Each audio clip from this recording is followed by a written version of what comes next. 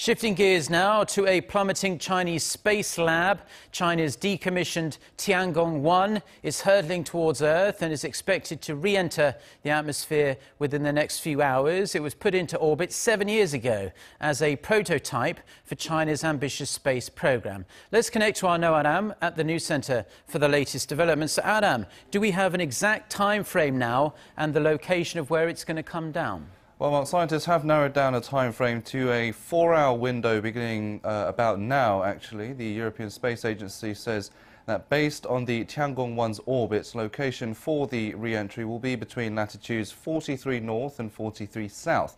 That covers a large chunk of the middle part of the planet, including all of, all of uh, Africa, most of South America, the continental US from Boston downwards, most of China and even Korea.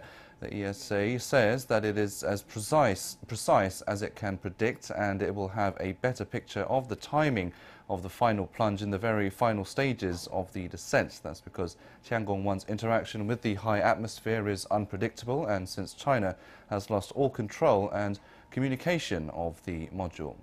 And uh, Aram, this has quite a lot of people uh, worried. Should we really be that scared about this falling debris? Well, uh, Mark, the simple answer is no. Falling debris poses only a slight risk to people on the ground, and the odds of anything hitting someone are considered less than one in a trillion. You're much more likely to be struck by lightning or even win the lottery. Another thing to bear in mind is that space debris falls to Earth quite regularly, and as of yet, no one has been injured.